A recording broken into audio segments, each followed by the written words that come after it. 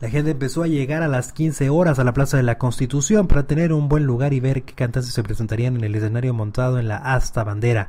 La encargada de abrir el espectáculo fue la cantante Maribel Guardia, quien lució un vestido rojo y cantó rancheras, merengues y boleros. Le siguió el grupo Reik, que compartió con sus fans la última presentación de su gira Peligro.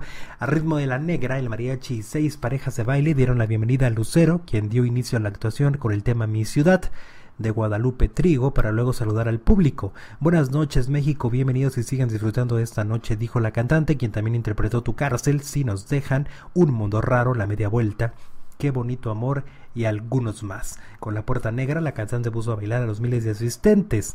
Le siguieron Cielo Rojo, De qué manera te olvido, el tiempo pasa, acá entre nos, Después Lucero pasó por el Noa Noa, No tengo dinero y será mañana de Juan Gabriel.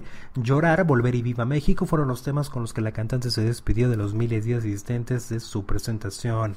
Para cerrar la velada, Joan Sebastián compartió con sus seguidores Sentimental para luego saludar Hola México, gente bonita, es un honor enorme estar con ustedes aquí esta noche porque en cada rinconcito de este país me siento en casa.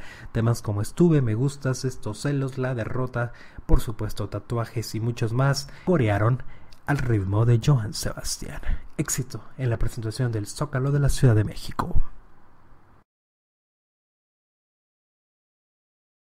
Si quieres recibir la información del mundo de la farándula, los deportes y los espectáculos, suscríbete al canal.